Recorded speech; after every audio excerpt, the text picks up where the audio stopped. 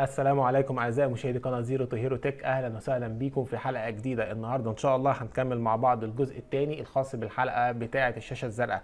لو أنت ما كنتش شفت الجزء الأول ممكن تبص عليه هتلاقيه دلوقتي موجود عندك في ال card فوق أو هتلاقيه في الوصف الخاص بالفيديو. ما تنساش تشوف الحلقة للآخر ولو أنت مش مشترك في القناة اشترك في القناة واعمل like واعمل share ونبتدي مع بعض الشرح بتاعنا. في الحلقة اللي فاتت شفنا مع بعض بعض الحلول وفي الحلقة ديت إن شاء الله هنكمل الباقي. زي ما قلنا ممكن تكون المشكلة اللي بيطلع نتيجتها الشاشة الزرقاء ممكن يكون مشكلة في ال hardware ممكن يكون مشكلة في ال hard disk ممكن يكون مشكلة في ال RAM. ممكن تكون المشكلة اللي موجودة عند حضرتك نتيجة إنك أنت سطبت برنامج جديد وبرنامج دوت عمل لك مشكلة في الجهاز. ممكن تكون المشكلة نتيجة إن الجهاز جاله فيروس والفيروس ده أثر على الملفات الخاصة بال Windows اللي موجودة بتاعة ال booting بتاعتك أو في ال system عامة.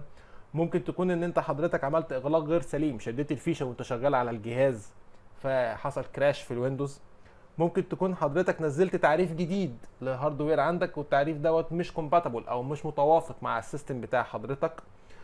ممكن يكون أنت عملت update لل Windows وال update ده عمل crash وبرضو قلنا ممكن لو أنت عملت update ال update يصلح المشكلة بتاعت الشاشه الزرقاء اللي طلعت عندك. هنشوف مع بعض كل الكلام دوت ونراجعه مع بعض ونكمل الأجزاء اللي ناقصة عندنا. تعالوا الأول نشوف لو إحنا عندنا مشكلة في ال memory بتاعة الجهاز. إزاي أقدر أعرف إذا كان الجهاز بتاعي فيه مشكلة ولا لأ؟ الموضوع بمنتهى البساطة إنك أنت ممكن تيجي على ال Windows نفسه من ال Windows نفسه بطريقتين الطريقة الأولانية من جوه ال Windows والطريقة الثانية عن طريق الاسطوانه ال boot بتاعتنا. الطريقة الأولانية إن أنا هاجي هنا من عند start وأكتب mem M E M هيطلع لك حاجة اسمها Windows Memory Diagnostic. هدوس عليها double click هيقول لحضرتك check your computer for memory problems هل انت عايز تعمل فحص للكمبيوتر بتاعك أو للجهاز بتاعك عشان مشاكل الرامات؟ هقول له restart now and check for problem مجرد ما بدوس على start now الجهاز بتاعي هيرستر ونشوف هيحصل إيه. بمجرد ما رسترنا الجهاز هو already بدأ يعمل memory check زي ما انت شايف قدامك. الموضوع دوت بياخد يا جماعة وقت شوية ممكن ياخد له من 6 ل 10 دقائق وبعد كده بيطلع لحضرتك إذا كان لقى فيه مشكلة ولا لأ. بتلاقي عندك في الجزء الخاص ب status موجود هنا وقت لغاية دلوقتي no problem have been detected yet مفيش لسه مشاكل ظهرت.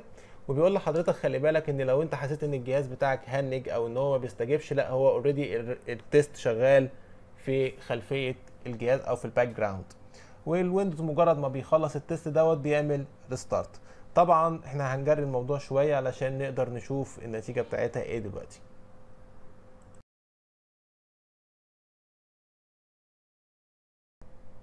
بمجرد الجهاز ما خلص الموضوع بتاع ال memory test وعمل booting هنشوف دلوقتي هل في مشاكل طلعت في ال memory ولا لأ. طب أعرف إزاي إذا كان في مشكلة طلعت في ال memory ولا لأ؟ حضرتك بتيجي من عندك هنا في الجزء بتاع ال search بتكتب event E V E N T بيطلع لك هنا ال Event Viewer تدوس عليه click هتيجي بعد كده هنا عندك في Windows Log هتلاقي عندك هنا System هتدوس على System right click click يمين وتقول له find وتكتب memory diagnostic memory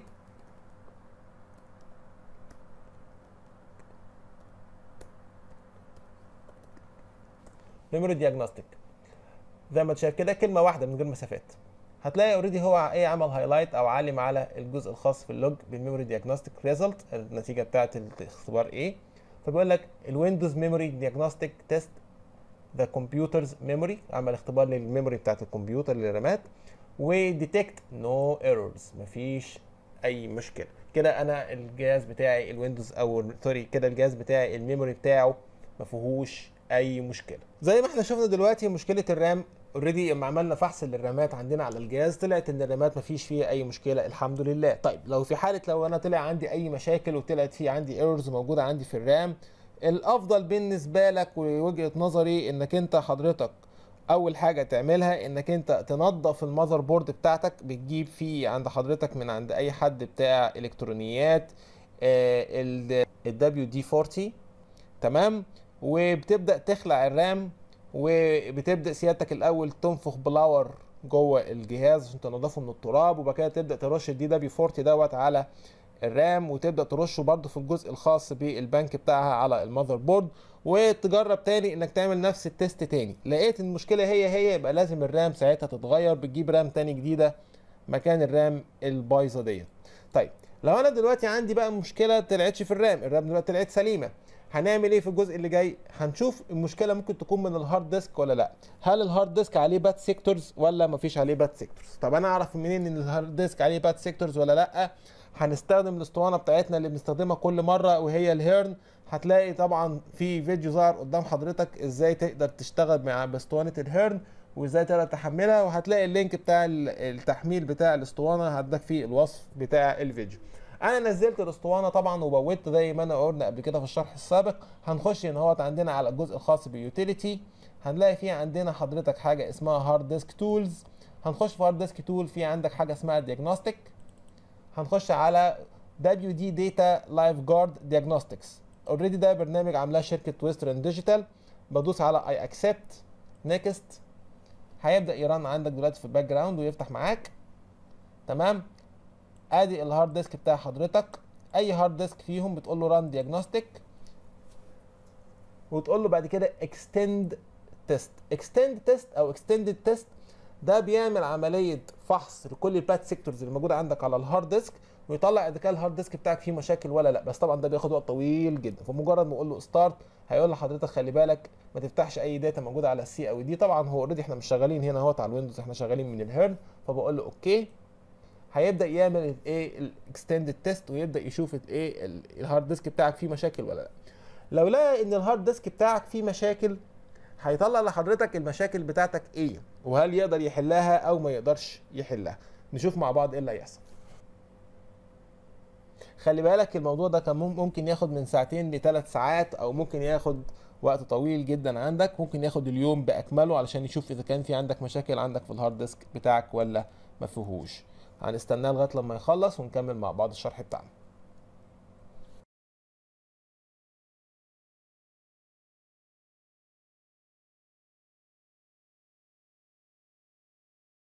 زي ما إحنا شايفين كده هو خلص ال test دلوقتي و already طلع مفيش أي errors موجودة عندك وعمل لك عمليه check معنى كده إن already مفيش مشاكل في ال hard disk دوت.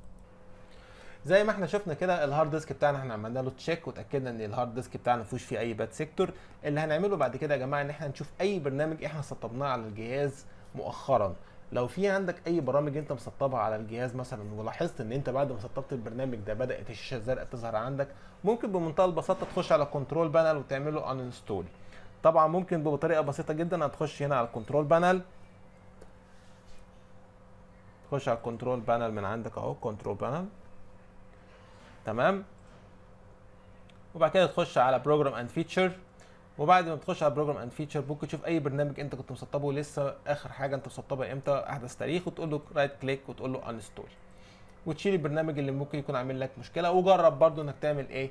reboot مرة ثانية طيب لو إحنا افترضنا إنك أنت بتحاول تخش على الجهاز أصلا والجهاز ما بيخشش. يعني أنت already إحنا شفنا مع بعض إن أنا أقدر أستخدم الأسطوانة بتاعة ال Windows.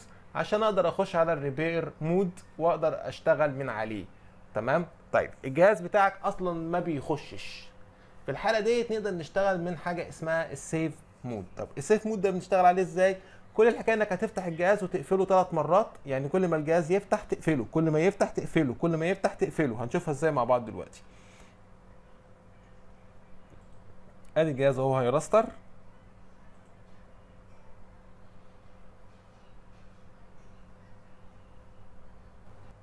عشان تقدر تخش على ال safe mode هتعمل كل اللي هنعمله إن إحنا هنضطر إن إحنا نرستر الجهاز ثلاث مرات ورا بعض. كل ما الجهاز يفتح نروح داس على زر reset أول ما يفتح ما يوصل لشاشة ال boot أروح داس reset يوصل لشاشة ال boot أروح دايس reset هيطلع بعد كده قدام حضرتك الشاشة اللي هي اسمها recovery screen دلوقتي اللي هي قدامك ديت.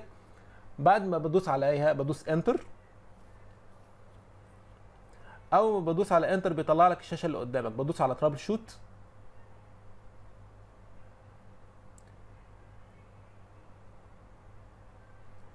بختار startup setting هنا already بيقول لك enable startup setting الخاصه بال safe mode بقول له restart بيطلب مني إن أنا أعمل restart أول ما هعمل restart هيفتح معايا على شاشة ال safe mode بتاعه ال Windows. مجرد ما بيعيد التحميل تاني.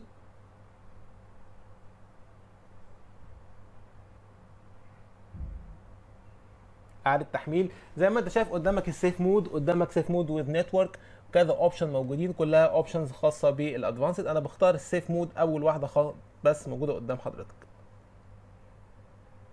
بدوس enter بيفتح عندي ال Windows على ال safe mode screen هتلاقي الشاشة بتاعتك عبارة عن شاشة زي ال Windows بالظبط يطلب منك ال user name وال password اللي بتخش بيهم عادي جدا. تمام؟ وحضرتك كل اللي بتعمله بقى إن أنت تبدأ تشوف هتعمل إيه. هل هتبدأ تشيل برنامج؟ هل هتبدأ تشيل hardware إيه اللي هنعمله بالظبط؟ بختار ال account اللي أنا ب login بيه وبكتب ال password بتاعته.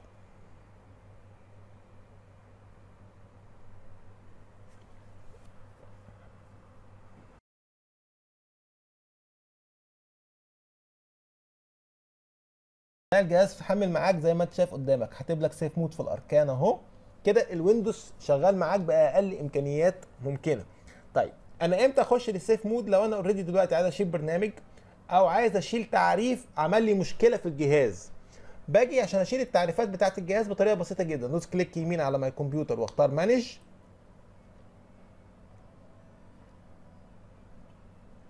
وأجي بعد كده على device manager أشوف التعريفات اللي عاملة لي مشاكل وأشيلها. تمام؟ يعني مثلا لسه كنت أنا معرف كارت صوت وبعد ما عرفت كارت الصوت مثلا حصلت المشكلة. فأجي عند تعريف مثلا كارت الصوت وأروح شايل التعريف بتاع كارت ال audio بتاعي. أو إن أنا أشوف مثلا في عندي مشكلة في المو... في كارت ال VGA أقول له لو سمحت click يمين وأقول له disable أو أقول له لو سمحت uninstall وأعيد تعريفه تاني. تمام؟ كده already اللي بعمله ما بيأثرش في ال system بشكل كبير يعني كده ما بيعملش أي مشكلة في ال system. بشيل التعريفات اللي عاملة لي قلق وعاملة لي مشاكل. وبعد ما أخلص أقول له لو سمحت ريستارت وأشوف الجهاز هيشتغل معايا ولا لأ.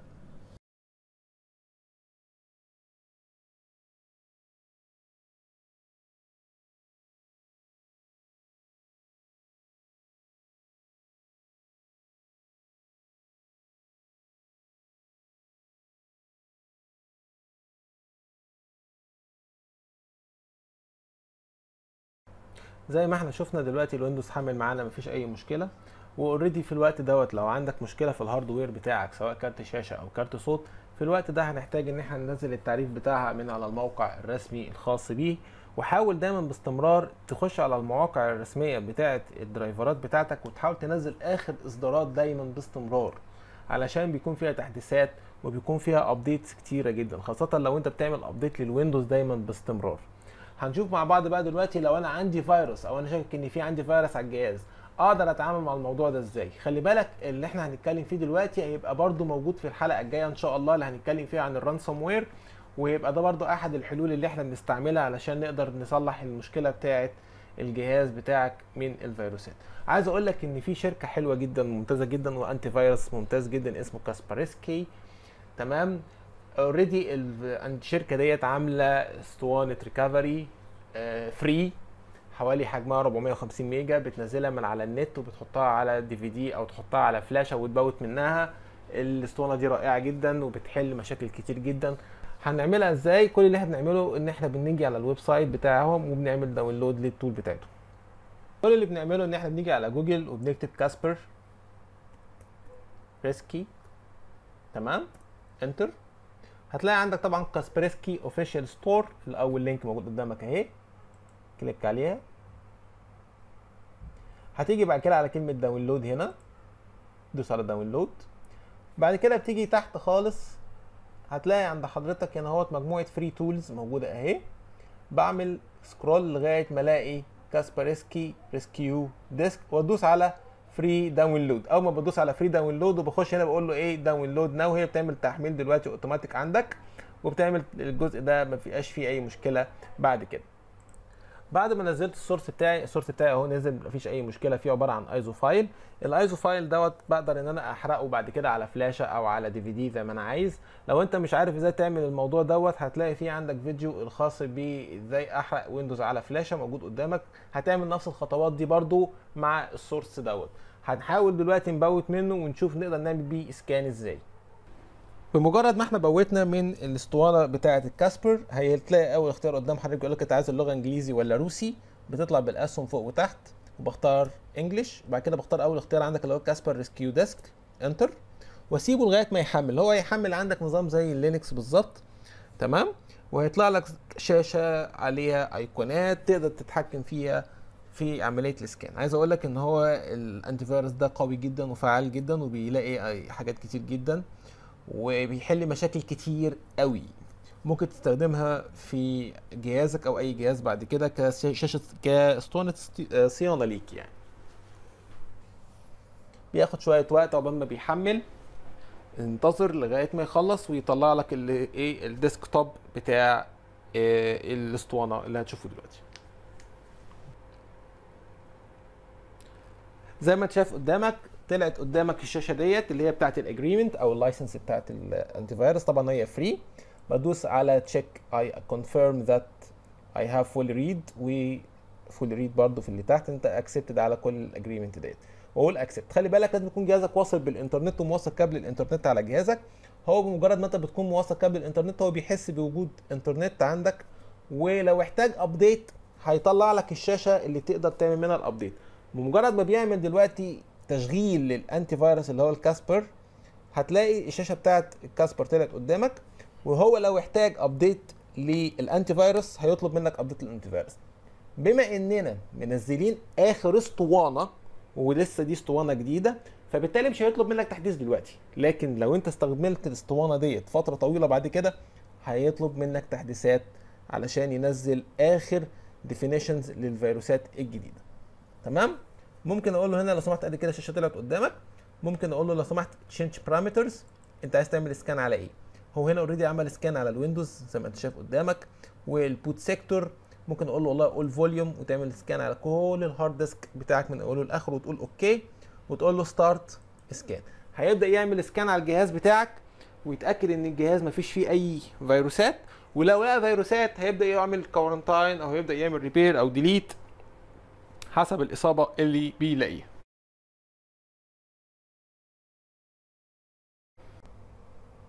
بمجرد هو ما بيبدأ دلوقتي يعمل scan على ال system بتاع حضرتك وممكن يلاقي طبعا فيروسات موجودة عندك على ال C أو موجودة عندك في ال boot sector ساعتها هيبدأ يطلع لحضرتك الحلول اللي ممكن تتخذها تجاه الفيروسات ديت. طيب لو أنا already دلوقتي ما لقيتش أي فيروسات أو ما لقيتش أي مشكلة من ناحية الفيروسات يبقى الحل اللي بعد كده يا جماعة نحتاجه إنك أنت تبدأ تعمل reset factory reset للويندوز. إنك تشيل كل البرامج والكلام ده كله من على الويندوز ويندوز طبعا 10 مديك option جميل جدا اسمه reset your computer هنشوف إزاي ده يقدر يتعمل سواء من على شاشه ال recovery أو من على الويندوز من جوه الويندوز نفسه. الموضوع بسيط جدا وسهل جدا. بس إحنا هننتظر لغاية لما يخلص ال antivirus ال scan بتاعه ونبدأ نكمل مع بعض.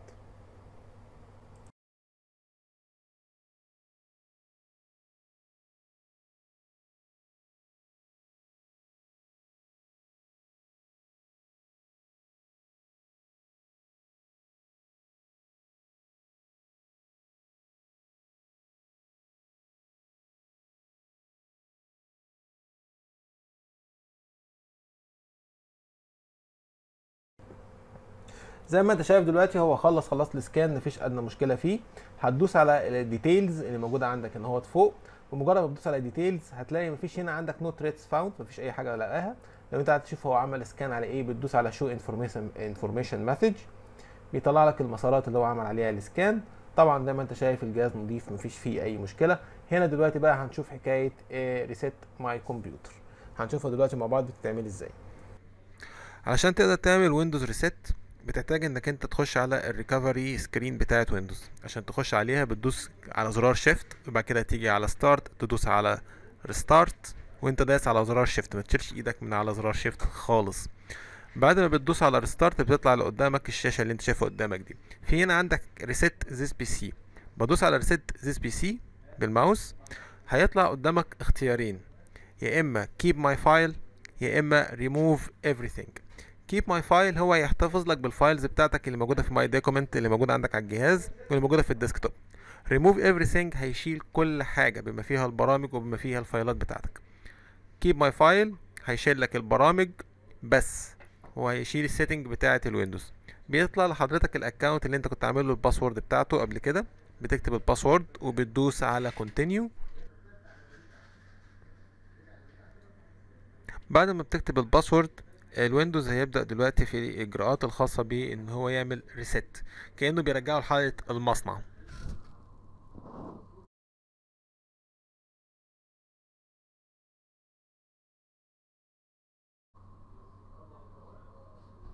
الموضوع ده بياخد شوية وقت وممكن يستغرق حوالي ساعة أو ساعة وشوية. زي ما أنت شايف قدامك هنا بيقولك reset this PC هو هيشيل لحضرتك الحاجات الخاصة بال application والبرامج اللي موجودة عندك على الجهاز اللي موجودة على ال partition C الملفات اللي موجودة عندك على أي partition تاني مش هتتأثر تماما. تمام؟ وخلي بالك إنك أنت هنا لو في عندك أي برامج متسطبة هو كأنه هيعمل reinstall لل Windows من أول وجديد تاني. فأنت بمجرد ما بتقرأ الكلام دوت وبتفهمه كويس جدا هتعمل reset هيبدأ يعمل الموضوع ده. طبعا أنا مجري الفيديو لأن طبعا هو استغرق أكتر من حوالي ساعة ونص. عقبال ما عمل resetting لل PC بتاعي. بس بعد كده الجهاز بتاعك بيرجع كأنه لسه ال Windows بتاعه متسطب دلوقتي حالا. بالتعريفات وبكل حاجة already موجودة عندك على الجهاز. بعد كده ال Windows زي ما انت شايف قدامك هيبدأ يعمل installing لل Windows كأنه بيسطب ال Windows من أول وجديد. تماما؟ تمام؟ هياخد طبعا وقت. أثناء الموضوع دوت الموضوع يا جماعة بيستهلك تقريبا زي ما قلت لك من ساعة ونص لساعتين. سيادتك بتبقى متأكد إن الجهاز بتاعك واصل بالكهرباء لو هو لابتوب لازم يكون واصل بالشاحن بتاعك وما يتفصلش من عليه وما تشغلوش على البطارية لأن لو حصل أي مشكلة هتبقى فيها حكاية.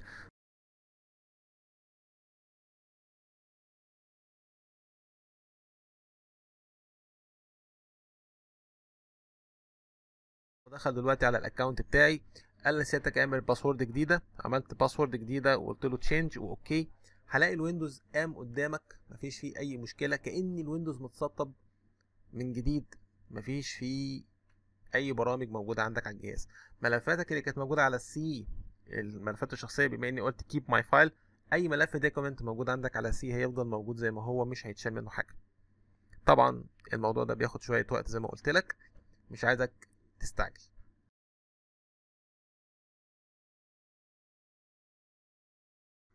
ادي ال Windows حمل معاك.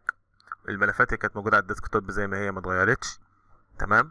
وزي ما أنتم شفتوا معانا يا جماعة الموضوع كان بسيط وكان سهل. ما تنساش إنك تعمل like وتعمل share. ولو مش مشترك في القناة تشترك في القناة. واستنوني في الحلقة الجاية إن شاء الله هنتكلم فيها مع بعض عن ال ransomware وإزاي نقدر نتعامل معاه وإزاي نقدر نتفاداه. وأشوفكم الحلقة الجاية.